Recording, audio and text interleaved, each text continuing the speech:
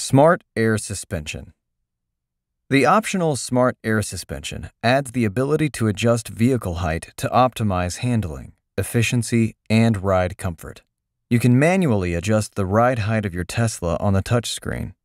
Options include very high, high, standard, and low. Additionally, you will see a setting for jack mode, which should only be used when your vehicle needs to be raised with a jack. Leave this function to a roadside or Tesla service team member. When Model S is moving above typical driveway or parking lot speeds, Smart Air Suspension automatically lowers ride height to improve aerodynamics and handling.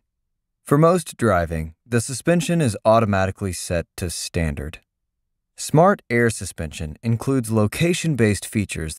With this feature, your vehicle will remember where you select high or very high ride heights, such as your home driveway or residential roads with speed bumps. The Smart Air suspension will then automatically rise at these locations in the future, and a notification will appear on the instrument panel when this comes into effect. To modify a suspension setting for a specific location, change the suspension level at the same location to overwrite the previous suspension setting.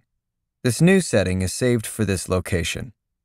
To prevent a suspension setting from saving, touch the X in the Auto Raising Location Status menu.